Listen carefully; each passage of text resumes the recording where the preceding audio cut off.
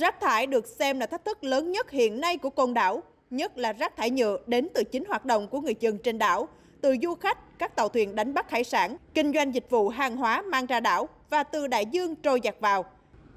Trong khi đó, đến thời điểm này, côn đảo vẫn chưa có một nhà máy xử lý rác đúng tầm, mà rác chỉ mới được thu gom về bãi rác Lộ Thiên tại bãi nhát. Hậu quả là rác cứ tồn động, chất ứ hơn 70.000 tấn, kéo dài hàng chục năm qua.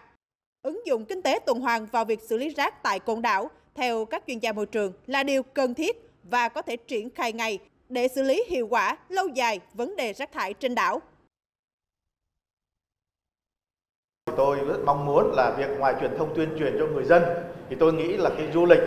người đến đảo chính là người cái nguồn nơi mà tạo ra nguồn thu lớn cho đảo nhưng mà cũng là một nơi nguồn đem nhiều rác thải đến, chúng ta phải truyền thông cho cả khách du lịch và chúng ta truyền thông mạnh hơn nữa. Thứ hai là tại nghĩa trang hàng dương, đất đang còn khó, có nhiều, thì nên làm cái sửa ủ phân compost ở đây để chúng ta xử lý ngay tại chỗ các cái loại rác, hoa, trái cây, hàng ngày để chúng ta làm phân hữu cơ. Và thứ ba là sớm xóa bỏ bãi rác tạm, bãi nhát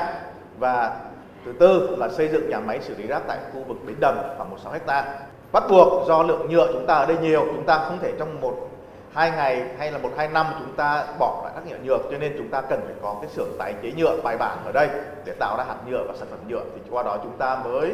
tuần hoàn được các cái sản phẩm nhựa sinh ra từ đảo.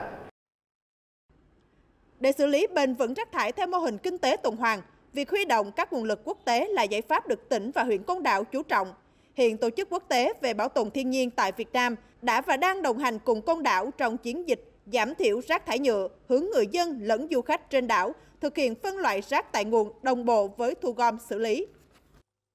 Mô hình hiện tại là thu gom và tái chế cái rác hữu cơ ở cộng đồng. Thì thông qua đó thì chúng tôi cũng muốn là tuần hoàn cái chất thải hữu cơ và giảm thiểu cái rác thải hữu cơ tại địa phương. Ngoài ra nữa thì chúng tôi cũng sẽ khuyến khích những cái hoạt động liên quan tới cái thu gom rác thải nhựa à, và tiến tới thì sẽ cùng đồng hành cùng với huyện hỗ trợ các cái tư vấn về mặt kỹ thuật để huyện có thể là xây dựng được một cái nền kinh tế tuần hoàn cho rác thải nhựa.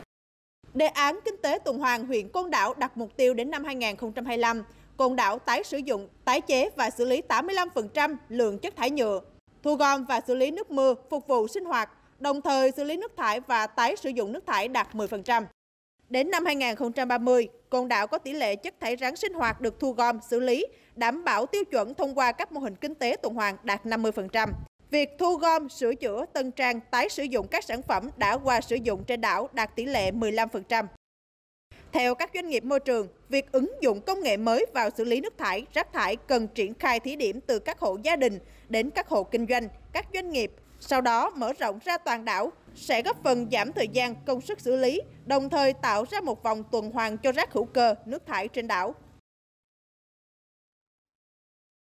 Rác thải thực phẩm ờ, khi mà cho vào máy thì nó sẽ sau 24 tiếng thì sẽ trở thành cái giá thể phân bón nó rất là mịn và rất là thơm như thế này và mình có thể sử dụng để ờ, bón cho cây trồng và dùng để cho ờ, tạo ra một cái vòng tuần hoàn khép kín cho rác thải thực phẩm. Và ngoài ra thì bọn mình cũng đưa một số những cái giải pháp ví dụ về enzyme và để xử lý toàn bộ những cái hệ thống mỡ, mùi ở trong đường ống trước khi ra đến trả lại tự nhiên, đó là cái xử lý phần nước thải. Việc giảm thiểu phát thải nhà kính cũng là mục tiêu mà kinh tế tuần hoàn hướng đến. Trong đó, việc chuyển đổi phương tiện sử dụng năng lượng xanh, huyện Côn Đảo phấn đấu đến năm 2025, tối thiểu 10% phương tiện trên đảo sử dụng điện năng lượng xanh.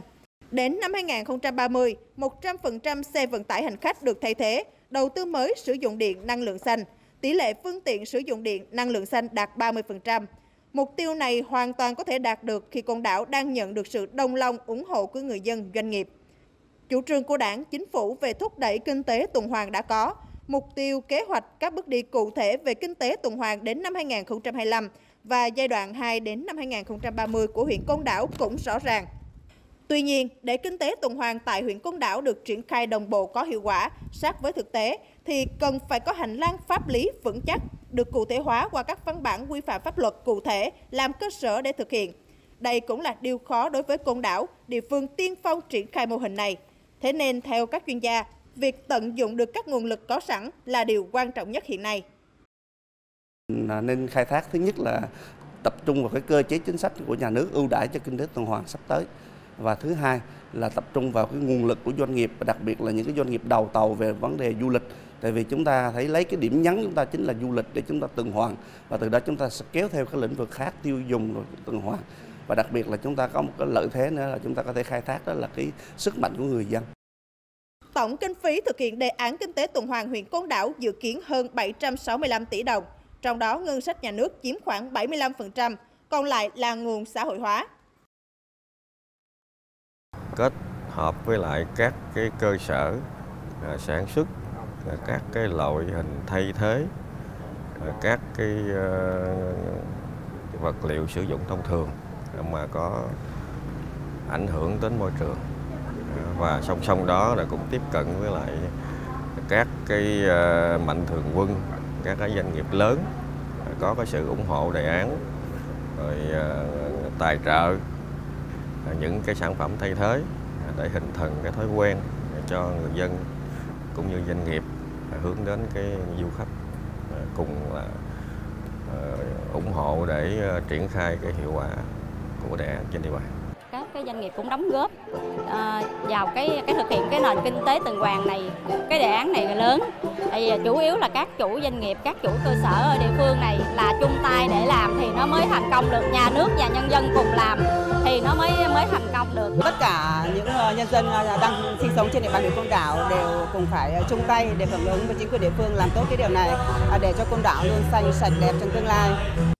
có hệ thống di tích quốc gia đặc biệt, khu Ramsar thế giới và vườn di sản ASEAN. Côn đảo đã được chính phủ quy hoạch là khu du lịch quốc gia, khu du lịch sinh thái biển đảo, văn hóa, lịch sử, tâm linh chất lượng cao, đặc sắc tầm cỡ khu vực và quốc tế. Vì vậy, việc áp dụng mô hình kinh tế tuần hoàn được xác định là giải pháp tối ưu để Côn đảo phát triển nhanh hơn, bền vững hơn. Và để thực hiện thành công mô hình này, cần sự chung tay của chính quyền địa phương, của toàn thể cộng đồng, doanh nghiệp và sự tham gia, hỗ trợ của các tổ chức quốc tế, đưa con đảo trở thành hình mẫu áp dụng kinh tế tuần hoàn của tỉnh lẫn cả nước.